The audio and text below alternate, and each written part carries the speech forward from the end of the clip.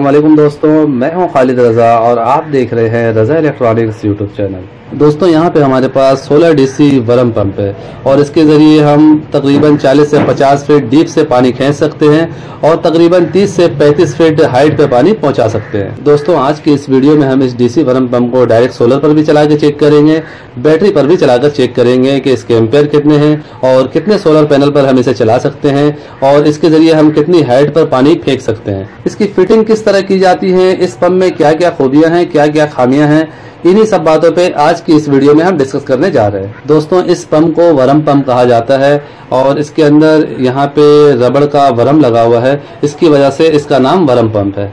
और यहाँ पे डीसी मोटर लगी हुई है। डीसी मोटर देखें सेम इसी टाइप की है, लेकिन छोटी साइज़ की है।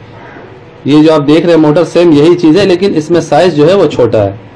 सिर्फ़ ये फ़र्क है। डीसी मोटर में तीन चार साइज़ आते हैं, जैसा कि ये छोटी साइज़ की मोटर है। इसी में दो तीन साइज़ ऊपर भी हैं। जितनी बड़ी आप पंप लेंगे, उसी हिसाब से इसके प्राइस बढ़ जाते हैं। सबसे बड़े वाले पंप में इस तरह का मोटर लगा हुआ होता है। जिस पंप में आप इस तरह की मोटर लगी हुई देखेंगे यहाँ पे, कि इतनी बड़ी मोटर लगी हुई है तो आप समझ जाएँगे सबसे बड़ा और सबसे हैवी वरम पंप है। इसे लगाने के लिए हमें इसे इस तरह से पैप के साथ लगाना होता है। हम अगर चाहें इस तरह से रखें तो ये दुरुस्त तरीकेकार नहीं होगा।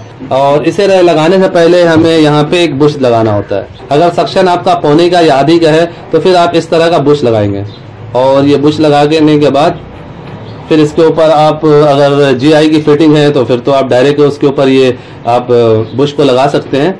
और अगर पीवीसी की फिटिंग है तो उस सूरत में आप इस तरह से वाल सॉकेट लगाएँगे। और इसके बाद इसे आप इस तरह से पाइप के ऊपर फिट कर देंगे।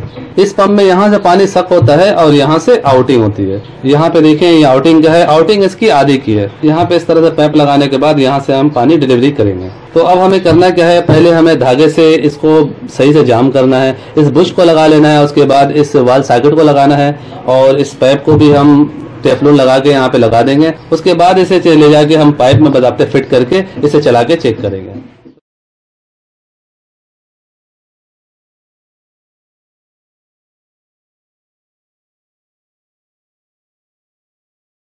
दोस्तों, हमने इस वर्म पंप को रेडी कर दिया है। यहाँ पे हमने सोलर भी रखा हुआ है, यहाँ पे हमारे पास बैटरी भी मौजूद है। जैसा कि ये हमारा सक्शन पाइप है, ये टैंकी से ये पाइप निकल रही है। तो हमें इस पाइप के ऊपर जो है, इसे इस तरह से लगा देना है। यहाँ पे हमने वाल सर्किट और जीआई के बुश को टेफलून लगाकर टाइट कर दिया है। अब हम इसे इस तरह से इसके ऊपर रख देंगे। इसके ऊपर आप चाहें तो सोलेशन लगा के इसे पक्का कर सकते हैं। मेरे ख्याल में इसे पैप के ऊपर इसी तरह ही रख देना चाहिए, क्योंकि इसका वेट काफ़ी है। ये जाकर खुद से ही जाम हो जाता है। इस तरह से रखने के बाद हम इसे इस तरह से घुमा कर टाइट कर सकते हैं।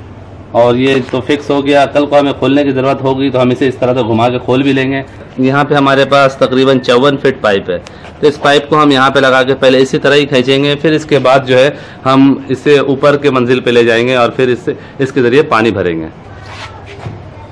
दोस्तों, यहाँ पे हमने डीसी वरम पंप के साथ बैटरी को भी अटैच कर दिया है और यहाँ पे आप देख सकते हैं, चौवन फीट पाइप को हमने काफ़ी ज़्यादा फोल्ड किया हुआ जिसकी वजह से मोटर पे बहुत ज़्यादा ज़ोर पड़ता है। दरअसल हम इसके एम्पेयर को चेक कर रहे हैं और इसकी ताकत को चेक कर रहे हैं कि कितने हाइट तक हम इसके ज़रिए पानी फेंक सकते हैं। यहाँ पे हमने बिल्कुल फोल्ड करके इस पाइप को रखा हुआ है कि ज़्यादा से ज़्यादा मोटर पे ज़ोर पड़े और हमें इसकी कैपेसिटी का पता चले। तो अब हम इसे चलाने जा रहे हैं।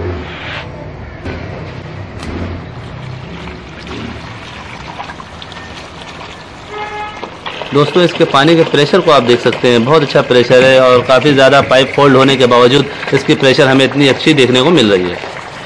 तो फ़िलहाल हम इसे बंद करते हैं।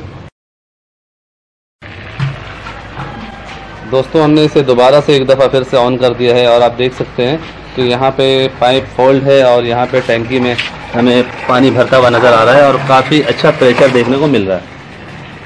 और यहाँ पे थोड़ी बहुत हमें ये यहाँ से पानी लीक होता हुआ नज़र आ रहा है। असल में ये मोटर बिल्कुल नहीं है और अभी तक इस्तेमाल नहीं की गई है। डायरेक्ट मैं अभी इसे इस्तेमाल कर रहा हूँ। थोड़ी बहुत लूजिंग की वजह से ये पानी लीक होता हुआ हमें नज़र आ रहा है। अगर हम इन बोल्ट को टाइट कर देंगे तो ये मसला हल हो जाएगा। तो पहले हम इसके एम्पेयर को चेक करते हैं। दोस्तों, यहाँ पे हमें पाँच आशारिया सात एम्पेयर देखने को मिल रहा है, जो कि बहुत ही अच्छा है। आमतौर पे डीसी मोटरें सात से आठ एम्पेयर, दस एम्पेयर लेती हैं। और आप देख सकते हैं यहाँ पे हमने चौवन फीट पाइप को फोल्ड किया हुआ है और आगे टैंकी में ये पानी जा रहा है। फिर भी इसके एम्पेयर जो है हमें बहुत कम देखने को मिल रहा है। तो अब हम मोटर को बंद करेंगे और इस पाइप को छत के ऊपर ले जाएँगे और फिर इसके एम्पेयर को चेक करेंगे।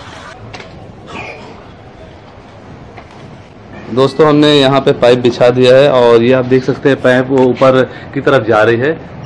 और ये चौवन फीट पाइप है। दोस्तों, अब हम दोबारा से इस मोटर को ऑन करने जा रहे हैं और ऑन करके सबसे पहले हम इसके एम्पेयर को चेक करते हैं। तो यहाँ जैसा कि पानी ऊपर की तरफ़ जा रहा है और अब हम पहले इसके एम्पेयर चेक कर लेते हैं। दोस्तों, यहाँ पे भी हमें एम्पेयर बहुत अच्छे देखने को मिल रहे हैं। सिर्फ़ छः आचार्य दो एम्पेयर हमें देखने को मिल रहे हैं और चौवन फिट का ये पाइप है, यानी 54 फीट का ये पाइप फ़र्स्ट फ्लोर पे जा रहा है।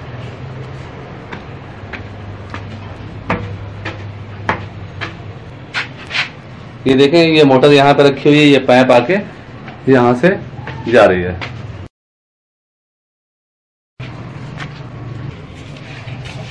और यहाँ पे दोस्तों आप देख सकते हैं, ये पानी यहाँ पे भी हमें पूरे प्रेशर के साथ देखने को मिल रहा है।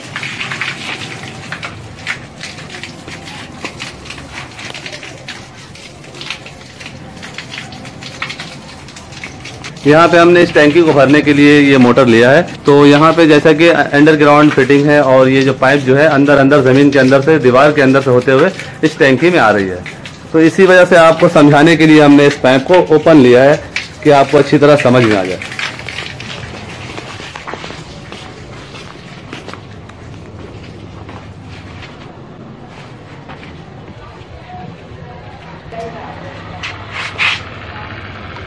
दोस्तों यहाँ पे आप देख सकते हैं छः आचार्य दो एम्पेयर हमें देखने को मिल रहा है। तो पहले हम मोटर को बंद कर देते हैं। काफ़ी सारे दोस्तों का ये सवाल होता है कि हमें किसी ऐसी सोलर डीसी पंप के बारे में बताएँ जिसके ज़रिए हम दूसरी या फिर तीसरी मंजिल पे पानी भर सकें। यहाँ पे आपके सामने है दोस्तों ये बिल्कुल छोटे साइज़ का डीसी वरम पंप है जिसके ज़रिए हम 50 फीट की पाइप से हमने फ़र्स्ट फ्लोर पे पानी पहुँचाया है। और पाइप को भी हमने फोल्ड करके भी आपको दिखाया इस वर्म पंप की वर्किंग बिल्कुल same to same donkey pump की तरह है। इसे बिल्कुल शॉर्टकट तरीके से बनाया गया है। डंकी पंप में डीसी मोटर अलग से लगाई जाती है। इसमें मोटर इसी के साथ ही फिट किया गया है और सिर्फ़ इसमें एक वरम लगा हुआ है। वरम के ज़रिए ये पानी को सख्त करता है। इसमें ज़्यादातर फॉल्ट वरम का आता है, यानी वरम घिस जाता है, वरम खराब हो जाती है। इसकी वजह से इसे खोल के और इसके वरम को चेंज किया जाता है। सिर्फ़ ये बीच का हिस्सा देखे, यहाँ पे वरम लगी डंकी पंप के ऊपर भी मेरी काफ़ी सारी वीडियोस मौजूद हैं। ये वरम पंप की नई मॉडल है। इससे पहले भी वरम पंप पे मैंने वीडियो बनाया है। उसमें मोनोबिला के शेप में वरम पंप को बनाया गया है। वो थोड़ी सी बड़ी है और उस पर भी मेरी वीडियो मौजूद है। दोस्तों, मुझे इस वर्म पंप को सोलर से डायरेक्ट चलाना था, क्योंकि शुरू में मैंने कहा है कि सोलर और बैटरी हम दोनों पर इस वर्म पंप को चलाएँगे, लेकिन तीन दिनों से मैंने इस वीडियो का काम रोका हुआ है। बिल्कुल धूप नहीं आ रही है, बरसात जैसा मौसम है, बारिश हो नहीं रही है, लेकिन बारिश जैसा मौसम है। इसी वजह से इस मोटर को सोलर पर मैं आपको चला के नहीं दिखा सका। नेक्स्ट टाइम मौसम सही होने के बाद हम डीसी वर्म पंप को डायरेक्ट सोलर पर भी चला के चेक करेंगे। यहाँ पे तो ऐसा लग रहा है कि सोलर पे ये मोटर चल जाएगी, क्योंकि जैसा कि छह एम्पेयर, पाँच एम्पेयर इस मोटर के हैं और सोलर के भी मैक्सिमम एम्पेयर पाँच, छह होते हैं। दोस्तों, अगर आप भी डीसी वर्म पंप परचेज करना चाहते हैं और अगर आपके इलाके में ये नहीं मिल रही है तो जैसा कि स्क्रीन पर आपको व्हाट्सअप नंबर नज़र आ रहा है, इस नंबर पर रबता करके आप डीसी सी पंप घर बैठे मंगवा सकते हैं। सो so फाइनली दोस्तों, मेरी आज की ये वीडियो यहीं तक थी। वीडियो आपको कैसा लगा, नीचे कमेंट सेक्शन में ज़रूर बताइएगा। वीडियो को लाइक भी कर दीजिएगा, दोस्तों को भी शेयर कीजिएगा। चैनल में नए हैं तो चैनल को सब्सक्राइब करके बेल आइकन भी प्रेस कर दीजिएगा। अपना और अपने प्यारों का बहुत सा ख्याल रखिएगा दुआ में याद रखिएगा। मिलते हैं नेक्स्ट वीडियो में। अल्लाह हाफिज़।